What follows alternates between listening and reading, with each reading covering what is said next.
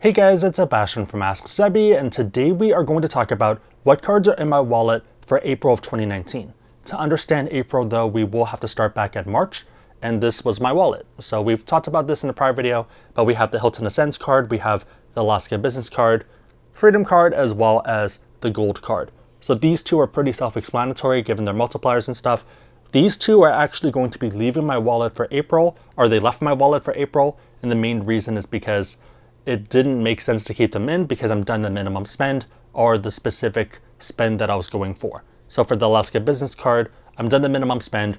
There's not really a point of it being in my wallet anymore. And then for the Hilton Ascends card, there is a 15,000 free night where you, after you spend $15,000, you get an additional free night. I had a bunch of taxes to pay due to some investment income, due to some trades I made, technically not even capital gains, so I had to pay the full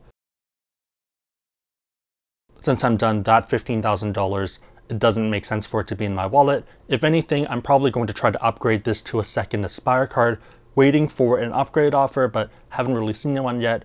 I might still upgrade anyways without an offer because it makes that much sense. And as an Ascends card, at this point, it serves no purpose for me. For April, we're going to replace those two cards with two new cards.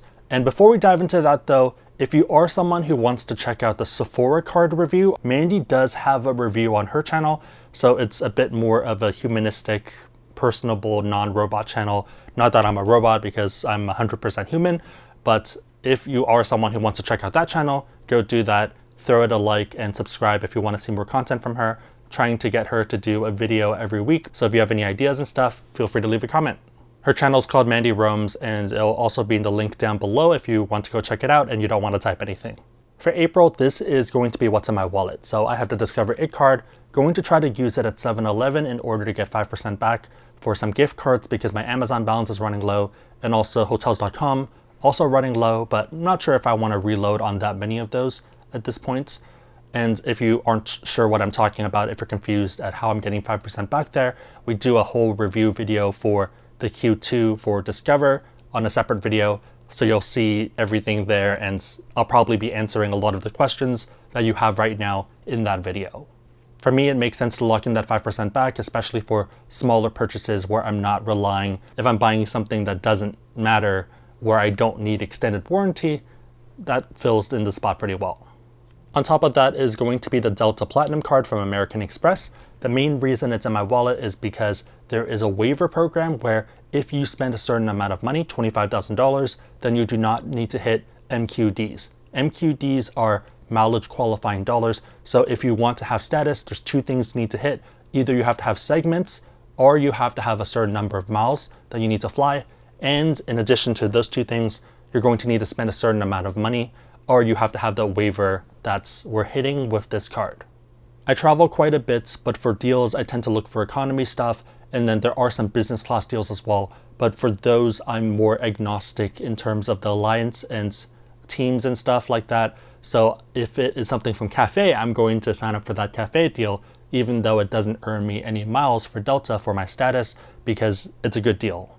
This might mean that I have a lot of physical miles traveled, but I might not be spending enough to get status, so hitting this waiver ends up helping a lot.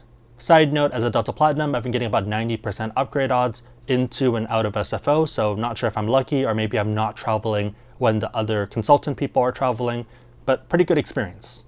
On the other side, we have the gold card as well as the freedom card. The gold card 4x back for dining, and then for the freedom card, 5x back for grocery stores for this quarter. So you could make the argument, well, wouldn't you want 4x American Express points back? And I'd rather actually have 5x Chase points because for me, they're about the same value and they kind of serve different roles. Chase points are more so, in my experience, to be used towards Hyatts, while American Express points, you're looking at business class and that type of stuff. So it's kind of a balancing act, and if anything, it works hand in hand that one is for dining and one is for grocery for now. Again, if you want more information on the Freedom Card for their quarter and stuff, we have a whole video on that, walking through everything, walking through what codes and all the stuff you need to know about. For the gold card, I think we've talked about it enough that we have a few videos at this point, so I would watch those if you're a bit confused in terms of the methodology, in terms of understanding the multipliers, why it might make sense for you, and everything else. Overall, pretty straightforward month since I didn't really add any cards. I might end up looking to add a few things for next month though, because I'm technically past the two year clock for Citi Thank You points. So I might look into the Premier card and there's a few other cards that are on my list that I might go for.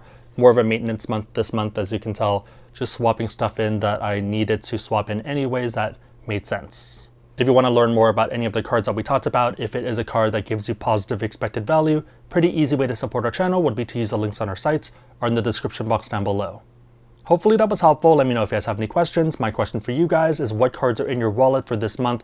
I realize it's a bit late, but hopefully this is still a bit helpful and next month should be a bit more interesting. If you do want to check out the Sephora review or just some of Mandy's thoughts on different cards, go to her channel, subscribe, like that video, and leave a comment on her channel if you want to see her take on a specific card. So maybe she has a different thought process on the Chase Sapphire Reserve or the Freedom or whatever else, a more humanistic, non-robot take.